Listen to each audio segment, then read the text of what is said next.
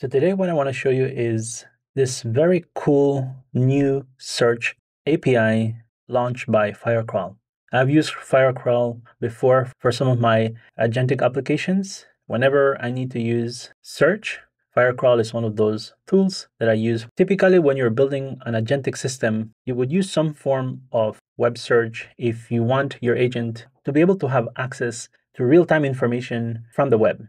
There are many ways how you can extract information from the web. It really depends on your requirements. So, for instance, one way how you can extract information from the web is by doing a standard search, and you have the API return a bunch of links or a bunch of sources. Another type of search that you may be interested in doing is crawling information from the web if you have a couple of sources to crawl from. What if there is a tool that combines both of these functionalities?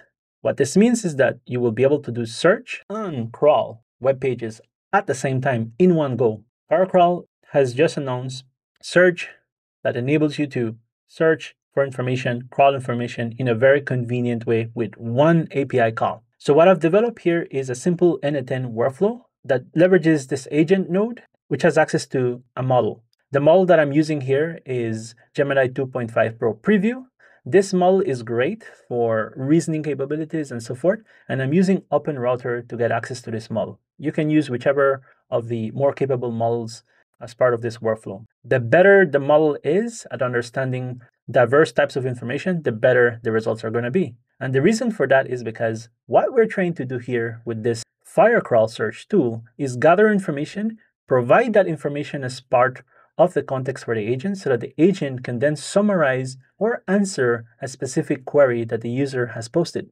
I'm going to show you now what this workflow does. Quite powerful and it's quite basic as you can see. I'm going to copy this query and then I'm going to paste it down here. So this is my test query. What are the latest releases from OpenAI, Anthropic, and Gemini? The model has static knowledge, so it's not aware of the latest releases. However, it does have access to this Firecrawl search tool.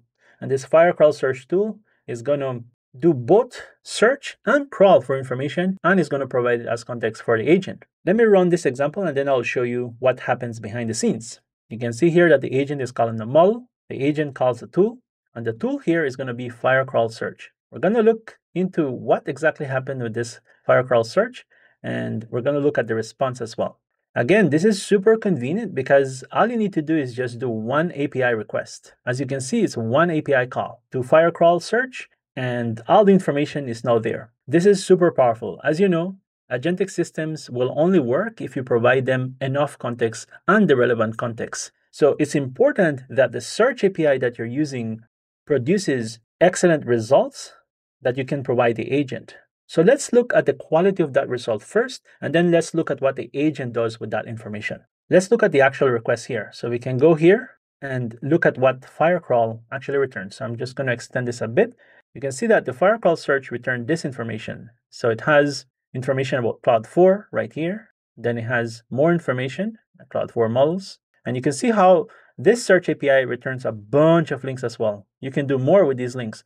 But what it has done is it's crawling for information and it has returned it in Markdown format. This is super convenient. A lot of you may already know this, that Markdown is a really good format when you're working with these agentic systems. And so Firecrawl already provides this option for you to specify what format you want that output to be in. So once those websites are crawled, you specify what format you want that in. And this is very convenient because now I could just tell it, I want Markdown. That is passed now to the agent. So here are just the examples that I was talking about. Let me see if I can find some other examples. So you can see that this one is talking about Gemini 2.5 Pro. And then there's some O3 information there too, more about Claude 4, and it goes on and on.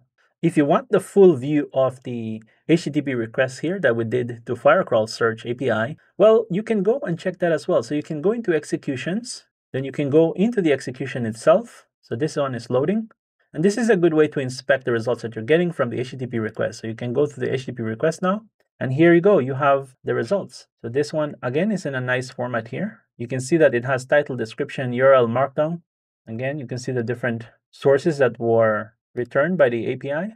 Here you go, here's another one, and so on. So here I'm not showing you how you might go about improving the search queries that are going to the API call. That's something that you can improve if you continue to work on this deep research agent. Also, it might help to plan the search before you do the request to the API. I'm not doing any of that. I'm just showing you bare bones what a simple agentic workflow combined with a proper search API can do and how powerful it is when you get the right context, when you can get the right information for the agent to answer the user query. And this is the power of this search API that is providing you real-time information and relevant information to whatever you are searching. So let's look at the final response. I lost the final response here from the chat for some reason. But anyways, I can see the output here. So here's the output. It says, and it's an exciting time for AI and the major players. Here are the updates from Anthropic. So this one is about Claude 4. You can see the date there. And then this one is more about Claude 4, Claude Sonnet, right? It's providing you information here. And then it has some citation. This one is pointing to different links that it's citing. This format here that I'm using is because if you look at my system prompt here, I need to improve it basically what I force it to do is to cite the sources, right? Because it has a lot of these sources now, and so it should cite like this, but actually it's using citation, explicit citation here. So maybe I can improve this by telling it, well, give the citation a proper name or source and then use the URL. So that's something that I can improve, but that doesn't matter too much here. And it goes on and on, and then it says, okay, Google. So we have from Google Gemini 2.5 Pro preview and so on. And then it has the I.O. developer conference mentioned here. There's a version of that to here. Then OpenAI, obviously there was O3, GPT 4.1, GPT 4.5, and so forth. And then there was also an acquisition of I.O. with Jony Ive. And so all of that is incorporated here. You can see that the model is doing an excellent job at picking up the right results.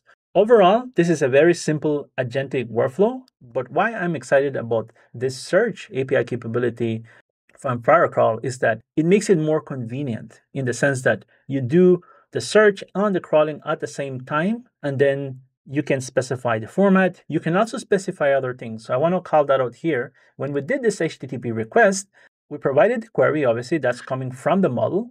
We're providing the limit as well, how much results we wanted returned. So this in this case is five. The language is English. You can provide the country as well as part of the API request. This is super useful if you want to scope the results to a specific region or country. And then you have these options of scraping information. You can scrape the links if the links are helpful for like citation stuff. And this, I think, is the exciting part of this new search API from FireCrawl that you can do this in one shot conveniently. This is an excellent tool for developers. I hope this short demo encourages developers to go and test it out. It's available now. I'll share more links below on how to get started. I will also share the n8n template for you to go try it out.